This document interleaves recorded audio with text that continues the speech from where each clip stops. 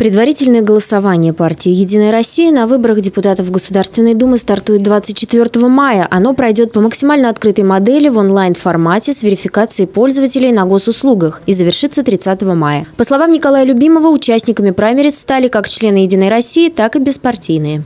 Мы уже не первый год э, проводим предварительное голосование.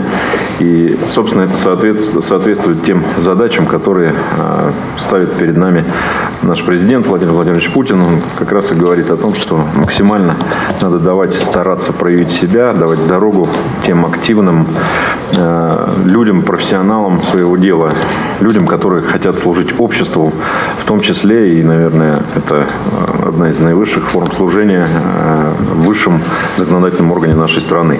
Участники встречи рассказали о причинах, которые побудили их участвовать в праймерис. Это прежде всего процесс общения с избирателями и возможность изнутри узнать о действительно существующих проблемах общества. Праймерис – это проба сил, э, причем, как десантник скажу, это в самой сложной обстановке, а в обстановке, приближенной как бы, к боевым.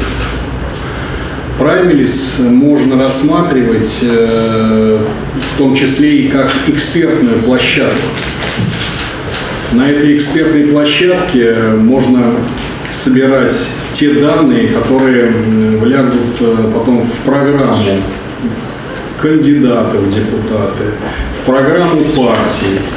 И на этой площадке, именно на этой экспертной площадке, мы будем понимать, где мы достигли, поработали эффективно и достигли успеха, а где-то э, мы работали не так эффективно и существуют какие-то проблемы. В рамках мероприятия Сергей Владимирович Филимонов озвучил цифры итогов подготовки к предварительному голосованию. На территории Рязанской области было зарегистрировано 27 кандидатов. По Рязанскому одномандатному избирательному округу номер 156 – 17 человек, по Скопинскому одномандатному избирательному округу номер 157 – 10 кандидатов. Как подчеркнул Николай Любимов, победят не все, но праймерис могут стать социальным лифтом для активных людей, реально заинтересованных в участии в общественной жизни. Марина Романюк, Михаил Лазуткин, телекомпания «Город».